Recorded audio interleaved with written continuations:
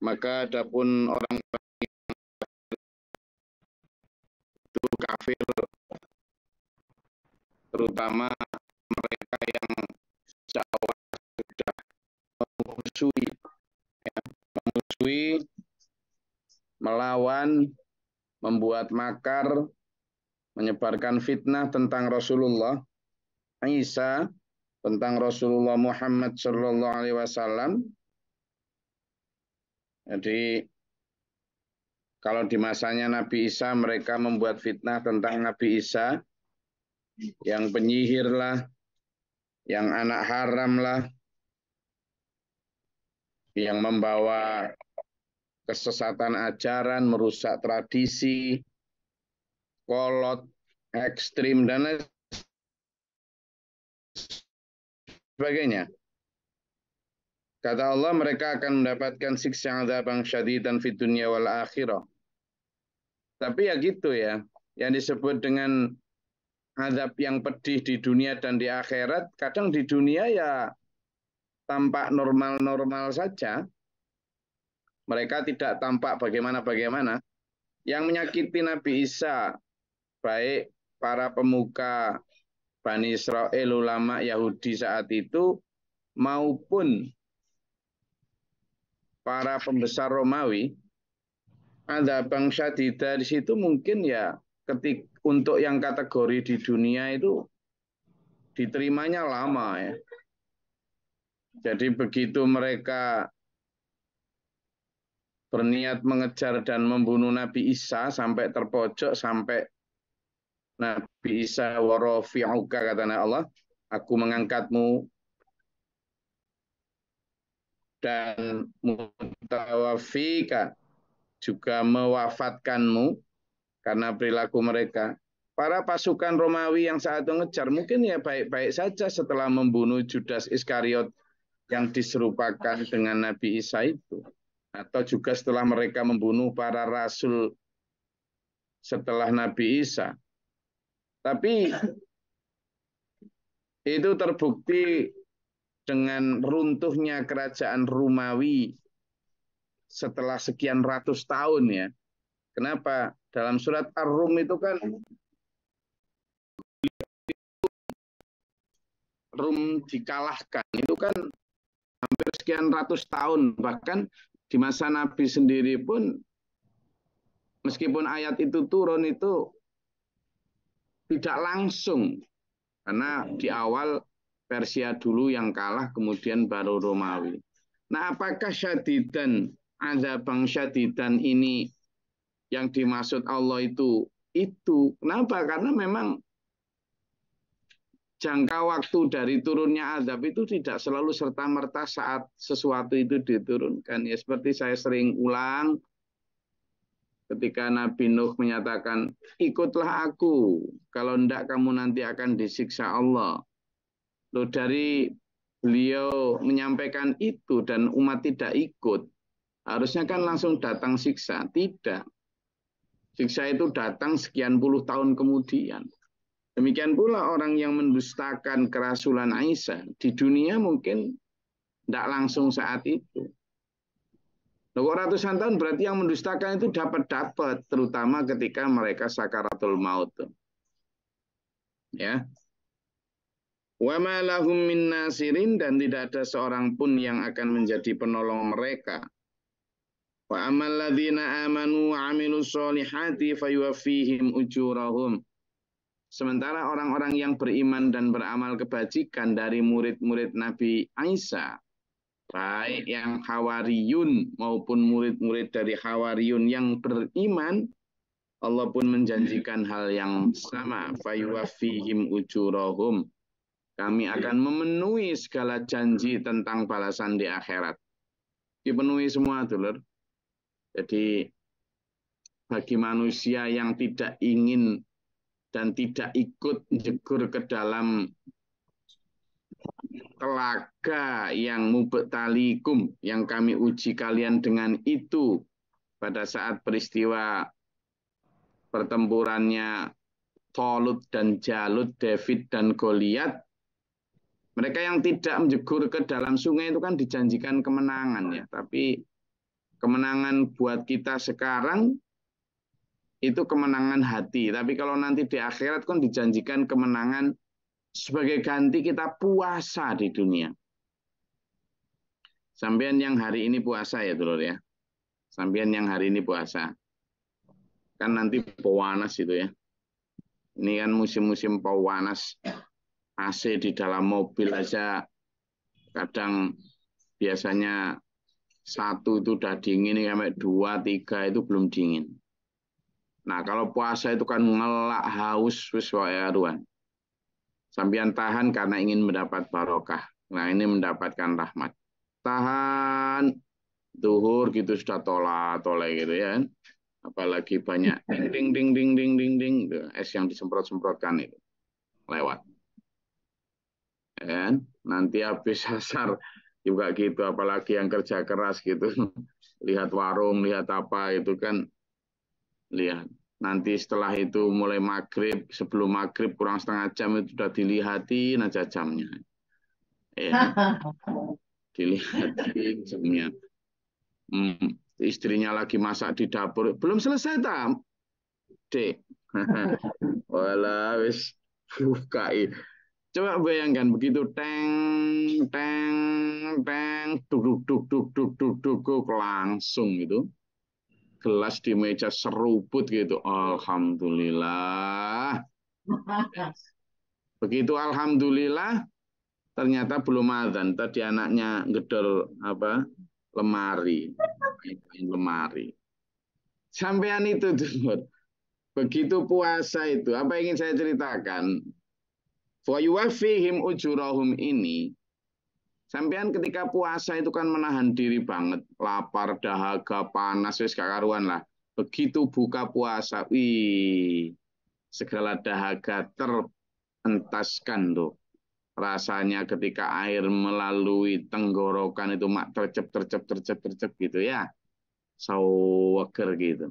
Nah kita pun sama tuh loh. Ketika kita puasa di dunia, menahan diri dari gemerlapnya kemewahan dunia. Kita juga menahan diri dari mengumbar hawa nafsu. Ketika malam harusnya enak-enak tidur, kita menahan diri dengan tahajud. Ketika siang enak-enaknya makan, kita menahan diri dengan puasa sunnah. Ketika enak-enaknya orang menikmati harta hasil kerjanya, kita menahan diri dengan menyedekahkan untuk akhirat kita. Nah, yang demikian ini puasa kita begitu teng teng teng kita panggilan wafat Israel datang itu adalah buka puasa kita. Karena kemudian Allah akan mencukupkan, memenuhi semua janjinya. Begitu kita masuk kubur, buat orang-orang yang alladzina amanu wa amilu solihatul, kita sudah disambut malaikat mungkar nakir yang ramah yang senyum dan kita juga akan didampingi dengan makhluk yang wangi, yang sangat rupawan untuk melayani kita sampai. Nah, dari kalau kita ternyata sebaliknya, kita ingin yang tadi itu. Kita ingin yang ditemani oleh makhluk yang rupawan tadi. Siapa? Yakni amal kita yang baik di dunia. Itu yang baik. Jangan sampai kita ini ditemani oleh makhluk yang jelek, berwajah buruk, dan bau sekali. Kenapa? Karena itu adalah amal buruk kita di dunia. Naudzubillah min dzalik, naudzubillah min dzalik. Tsumma naudzubillah Kita inginnya siapa? Kita inginnya yang itu tadi. Yang akan ditemani kita, menemani kita adalah wa yuwafihim ujurahum itu. Adalah makhluk yang rupawan yang baunya harum sekali. Itu itu sudah dicukupkan sejak ketika kita dikubur tuh oleh Allah. Selama kita itu adalah alladzina amanu wa amilus Nah ini yang ayat amin, amin, amin. Menjadi golongan dari ini. Golongan yang wa yufayuwafihim ujurahum. Golongan yang alladzina amanu wa amilus salih. Jangan sampai golongan orang yang tadi di atas itu fa'adhibu adzaban syadidan a'udzubillahi dari. Kenapa? Karena wallahu la yuhibbul zalimin. Nah, ini yang saya ingin Eh, kita luaskan pemahamannya. Allah itu tidak suka kita mendolimi diri sendiri. Artinya, Allah sebenarnya tidak suka kita itu tersiksa. Jadi jangan diartikan seolah-olah Allah itu kejam karena mengadab hambanya. Enggak, kita sendiri yang mengadab diri kita itu. Sudah sejak awal toh kita itu diweling, diwanti-wanti, di warning, diperingatkan, jangan lewat situ. Itu nanti ujungnya azab. Lewat sini, ini loh ujungnya nanti ridhoku. Sudah diwanti-wanti loh. Allah itu pengen kita itu melewati jalan yang mengarah ridho itu. Tapi karena jalan yang menuju murka itu adalah jalan yang sesuai nafsu, yang enak, mudah, dan menurun. Ya banyak orang yang lewat situ. Sementara jalan yang menuju ridho Allah itu nggak enak, nggak sesuai nafsu, mendaki lagi berbatu falak tahamal akobah. Kata Allah, kenapa kamu nggak memilih jalan yang mendaki lagi? Sulit itu, kata Allah. Itu meskipun begitu, nanti ujungnya itu buka puasa. Dicukupkan, dipenuhi semua rasa dahaga kita akan kemewahan, semua rasa dahaga kita akan kebebasan, semua rasa dahaga kita akan kenikmatan, semua rasa dahaga kita akan segala macam penasaran itu. Mulai dari harta benda, umur yang panjang sekalipun sama itu loh, akan dipenuhi di sana dengan apa? Hidup selamanya dipenuhi. Nah di sini sampean meskipun happy birthday to you, Happy birthday, Yuyu. Long life, long life. Umur panjang, umur panjang. Sampai nggak akan panjang umurnya. Wis talah. Ya, no? berarti kan terbatas. Maka kita ini dikasih Allah di sana, wis selamanya, Mas. Ya, toh, harta kita kan juga pengen begitu, sebanyak mungkin. Ya kan? jama'a malau jamaah mengumpul-ngumpulkan malan hartanya wa'adadahu dan dihitung-hitung. Tambah terus tambah terus. Pengen sebanyak-banyaknya. Tidak bisa. Tidak bisa. Sebanyak apa pun sampean nggak mungkin punya planet. Ya paling ya punya harta sekian ratus ribu atau sekian juta hektar bisa memenuhi semuanya, tidak mungkin. Lah kita dikasih Allah di sana. Buka puasa kita adalah ardu samawatu wal ard. Kita dikasih tanah seluas langit dan bumi. Kan berarti terpuaskan dahaga kita itu nanti. Sudah pun umur tanpa mati, harta tanpa batas, Kecantikan rupawan juga gitu. Kita kepingin cantik, dikasih eyeshadow, dikasih blush on, dikasih apa lagi? Eh? Eye apa? Eyenet. Eyeliner. Nah, apa lagi? Oh, aduh. Hah? Pak majukan oh, apa jenggotnya dioperasi biar mancung. Nggak bisa, wis sampean mau diapain juga tetap gitu-gitu aja. Di sana nanti sampean akan dikasih wildanun mukhallatun lu'luwal ma'is macam-macam. Ya kan? Sama akan dikasih wajah yang rupawan kayak Janoko. Mas Siswanto pun akan berubah menjadi engkau wanteng, enggak gitu. eh, Nah, iya sampean yang namanya Wagiem, namanya Suriem, namanya siapa pun nanti di sana sudah berubah surga sampean. Nggak gini. Dipuaskan keinginan sampean untuk yang cantik, yang kaya, yang jabatan tinggi, dipuaskan semua. yang pengen viral dipuaskan sama Allah. Oh nanti itu penduduk neraka itu akan melihat penduduk surga dalam kenikmatan. Lah kalau penduduk neraka misalnya 6 miliar, 7 miliar, sementara penduduk surganya misalnya jutaan. Oh, sama berarti orang yang sangat terkenal loh. Gitu loh. Apalagi ditambah penduduk neraka juga dipenuhi dengan setan dan jalan teman-temannya terkenal dan terkenalnya selamanya. Kalau terkenal di dunia paling berapa lama? Yang viral-viral itu kan paling viralnya bertahannya berapa lama? Hah? Yang viral-viral itu loh. Nah, ada palingnya sebulan dua bulan sudah ditutup oleh viral yang lain sudah. Sekolah lagi. Jadi ayo nyari viral yang di akhirat sana. Kenapa?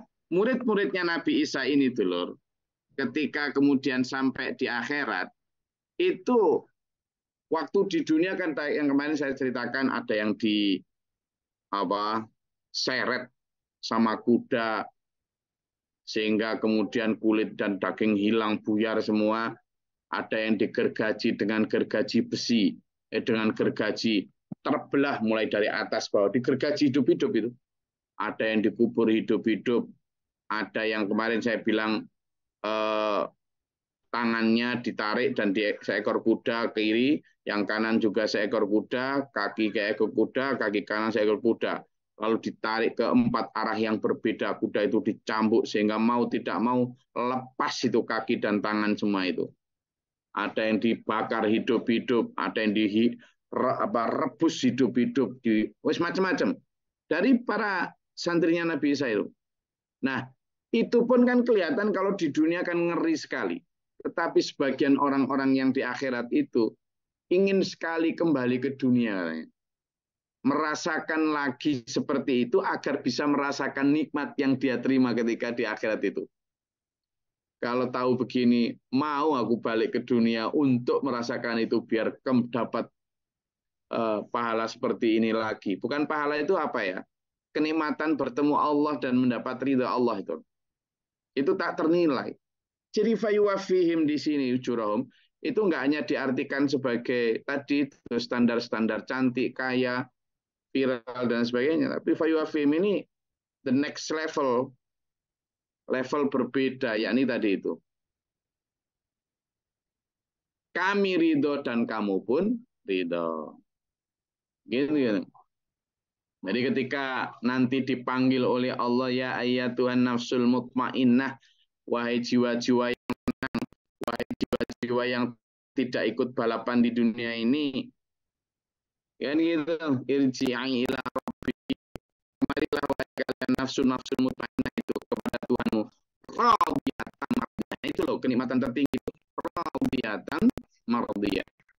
Kamu ridho dan aku pun ridho kata Allah. Kamu ikhlas rela dan aku pun rela terhadapmu. Ikhlas ridho. Nah, kalau sudah dapat ridho Allah ini loh, yang hidup itu enak betul. Nah, bagaimana kita menarik ridho itu sekarang di dunia? Dari berkaca Al-Hawariyun ini, para pengikut setia Nabi Isa ini, ini yang ayo kita ikuti. Jangan menjadi orang-orang yang zalim. Wallahu la yuhibbul zalimin. Dzalika natsluhu 'alaika minal ayati wadh-dzikril hakim. Demikianlah kami membacakannya kepadamu wahai Muhammad minal ayati wadh-dzikril hakim dan ayat-ayat peringatan yang penuh hikmah. Nah, ini tadi yang saya maksud peringatan. Jadi setiap fenomena kisah atau surah sirah nabawiyah itu yang kita jadikan sebagai adzikri, peringatan, reminder, warning. Lalu yang satu juga al-hikmah apa? Best practice, lesson learn, pelajaran yang bisa diambil. Itu loh. Supaya apa? Supaya kita ini benar-benar ngaji, jadi ngaji itu bukan hanya kemudian dibaca, diapalin, setelah itu pleng, tidak ada apa-apa. Tidak. Ya ini manfaatnya, itu yang namanya hikmah. Jadi dari kisah Nabi Isa tadi, dari kalimat fayuwafihim aja saya terang, saya luaskan sebegitu luas pemahamannya. Bahwa yang masuk dicukupkan itu kita adalah dikasih buka puasa yang pantas. Bahkan mudha'af apa dilipat gandakan. Makanya sampean ini sebagai motivasi, jangan pernah merasa rugi ketika berbuat baik, ya. Jangan pernah merasa nyesel. Itu catatannya ada sendiri.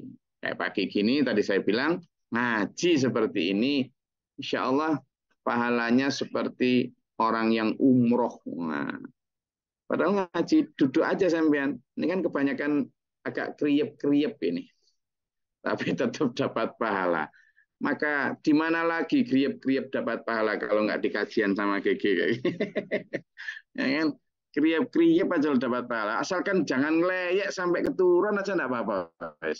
Nah kalau sampai keturun itu enggak tahu pahalanya itu catatnya gimana itu. Masa tidur dapat pahala? Ya. Pokoknya asal kriep-kriep gitu aja. Ya.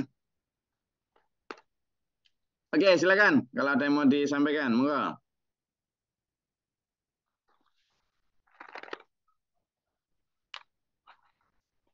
Ya Pak Bahrul. Sedang di mana ini Pak Bahrul? Kok lagi nyetir ini? Ke pasar, Gus. Wih, nah ke pasar bawa pasar Harus bawa, ke pasar bawa mobil kok jauh banget. ini ini mobil, mobil pakai ke kemarin. Oh, enggak ini. Ini mobil harian ini. Oh, lah mobil kemarin itu kuat ya dipakai ke Lampung ya, mobil kuat perang itu. Kuat gue tahun 79. Alhamdulillah. Alhamdulillah. Monggo ada yang mau disampaikan Pak Bahrul?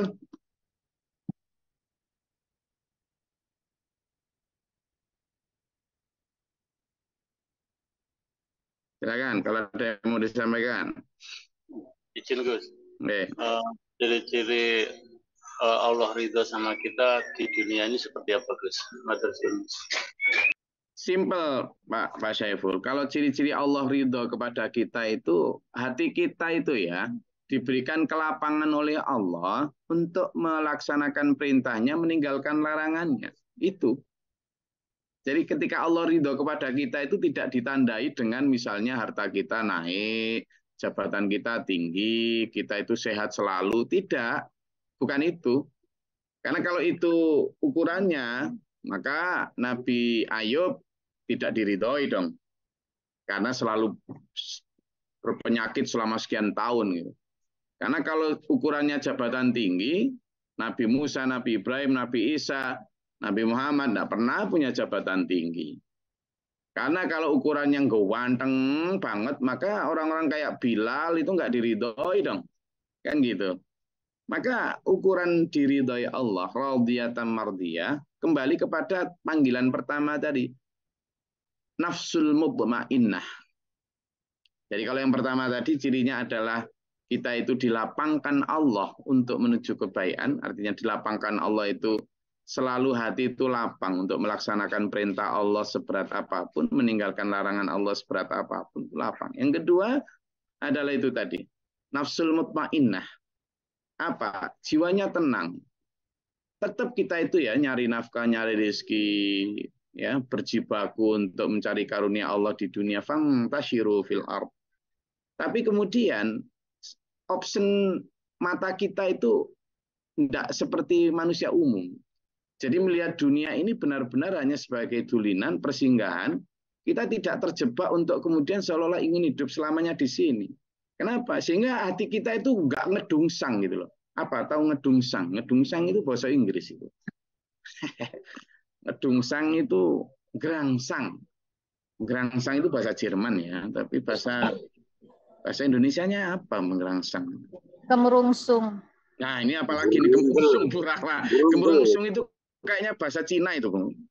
Bahasa Yunani. Apa-apa? bahasa Yunani. Bahasa Taunya Yunani. Kemerungsung. Kayak kemerungsung itu bahasa Yunani itu, Bram. Pokoknya kepingin nambah gak tenang hati ini. Dua Vario kepingin Nmax, dua Nmax kepingin uh, Kawasaki ini, kepingin itu nawae terus. Itu kan kemerungsung. Lah orang yang diridhoi Allah itu hatinya tahu tenang dulu. Tenang kenapa? Dia bukan kok kemudian tidak nyari nafkah, dia nyari nafkah. Cuma diberikan oleh Allah itu dia itu nggak terlalu melihat itu sebagai satu target yang harus dipenuhi. Tidak pokoknya dia itu diberikan Allah berapa. Yang ketiga adalah neriman. Tahu neriman ya? Konaah itu jadi konaah itu nerima ing pandum orang yang diberikan Allah banyak ya ya alhamdulillah. Diberikan sedikit ya tetap alhamdulillah yang keempat, sampean itu ini apa? selalu pandai bersyukur. Selalu pandai bersyukur. Karena apa? Orang yang tidak diridhai Allah, satu di antaranya adalah janji setan, itu ya Allah, kamu tidak akan mendapati um hambamu sebagai hamba yang bersyukur. Karena target setan itu bagaimana? Buat manusia tidak bersyukur. Jadi kalau orang yang diridhoi Allah, itu kata Allah, maka kamu tidak akan bisa menggoda hamba-hambaku yang taat, yang ini dan sebagainya. Jadi orangnya pandai bersyukur. Nah, selanjutnya adalah orang yang diridhoi Allah itu selalu diberikan jalan oleh Allah untuk itu tadi. Diberi kekuatan gitu loh. Jadi la haula wala quwata illa billahil aliyil azim. Tidak ada daya kekuatan. Ketika ya tahajud misalnya terasa berat oleh sebagian besar orang itu. Bagi orang yang diridhoi Allah itu kayak dibangunkan.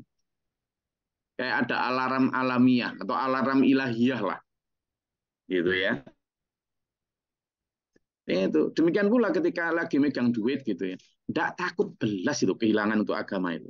Tidak. Dia itu benar-benar sudah tidak merasa memiliki sesuatu. Karena memang benar-benar ketika bilang hadza min fadli rabbi ini adalah karunia Allah yang biasanya ditempel di kaca belakang BMW itu.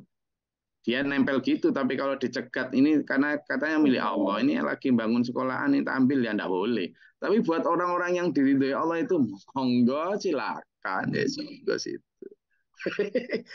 ya, tapi ya orang diridhoi Allah dimudahkan. Ketika orang lagi seneng-senengnya wisata kuliner, dia puasa ya, ya diberi Allah kekuatan gitu ya. Jadi orang yang diridhai Allah seperti itu. Mother Sundus. lagi? Enggak, kalau ada yang mau disampaikan atau ditanyakan.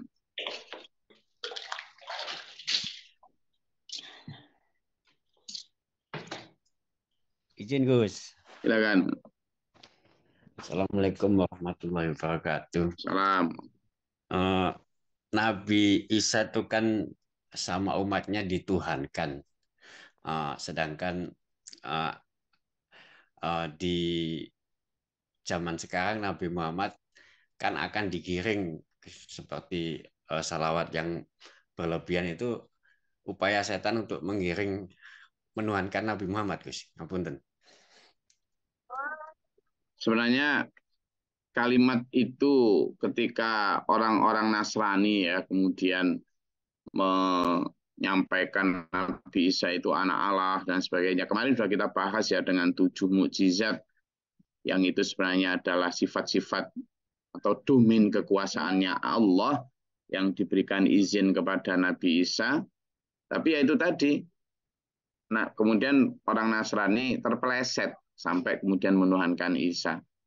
Nah di eh, Islam sendiri juga tadi malam ya saya tadi malam ngisi di Polresta Denpasar juga tentang saya sampaikan itu juga. Jadi untuk apa kita memuji kebetulan sebelum saya ceramah itu ada penampilan puisi.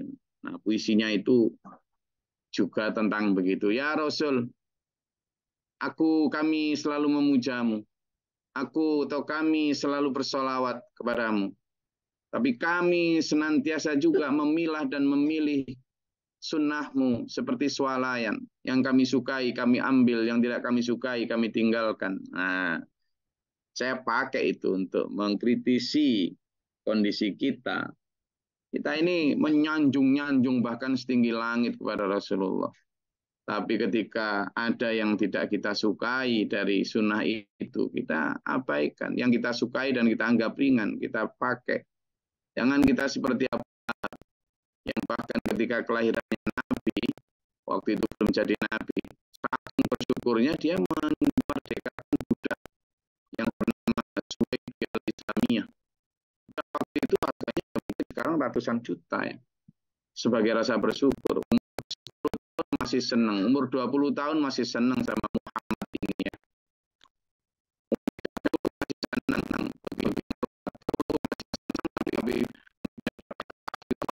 Untuk menyampaikan ajaran Islam bertentangan dengan tradisi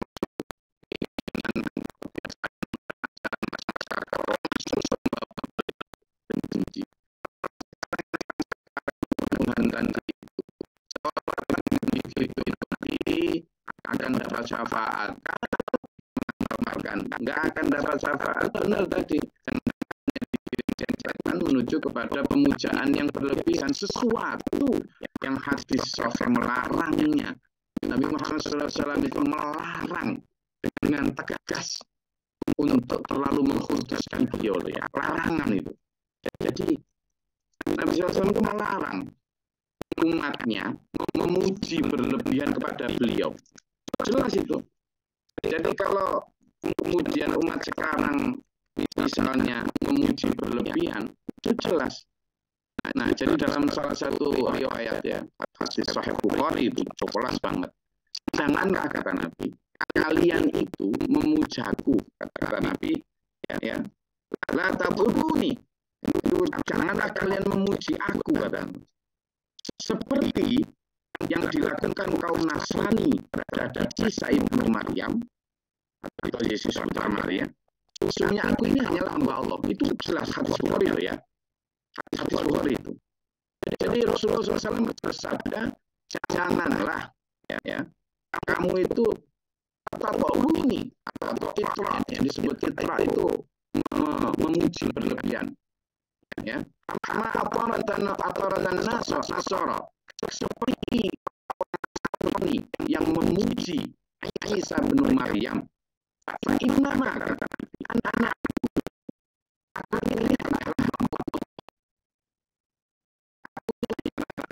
Allah.